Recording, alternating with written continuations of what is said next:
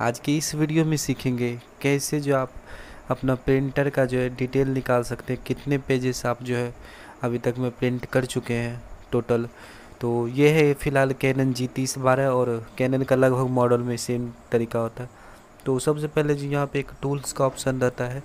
इस पर आपको क्लिक करना है लोगो आप देख लीजिए। देन आपके जो यहाँ पे डिस्प्ले जो है प्रिंटर का, उस पर टूल्स वाला जो फ़ोटो बन जाएगा। सिंपली आपको जो यहाँ पे ब्लैक या कलर कुछ भी आप सेलेक्ट करके दबा सकते हैं बटन। और जैसे आप बटन दबाइएगा तो कुछ देर जो है प्रोसेस लेने के बाद आपका जो एक प्रिंट कागज़ निकलेगा, ठीक ना?